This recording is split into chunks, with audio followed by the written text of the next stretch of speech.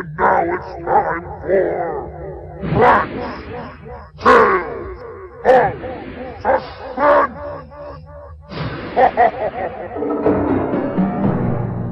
So I went to the grocery store and I went to get some milk. Dun, dun, dun. So anyway, I got there and the store clerk looked at me and he said, Whoa, hi there, Brak. Are you here to get some milk? And I said, Well, what if I am? Dee, dee, dee, dee, dee. And he said, Well, I was just asking, you know, 'cause you forgot last time, remember? Dun, dun, dun, dun. And I said, Oh, thanks.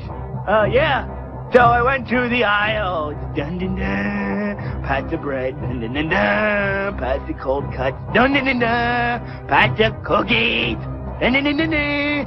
Past the ketchup. Dun, dun, dun, dun. Past the frozen dinners. Dun, dun.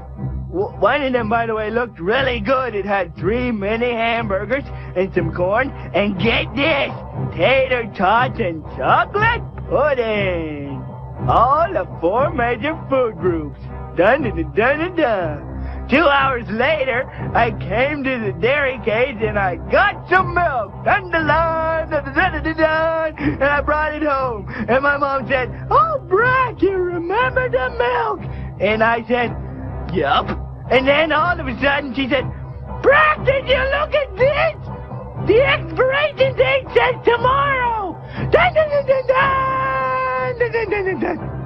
so I had to drink a whole gallon of milk in one day and go back and get some more. So, um, you gotta watch those expiration dates there, Buster.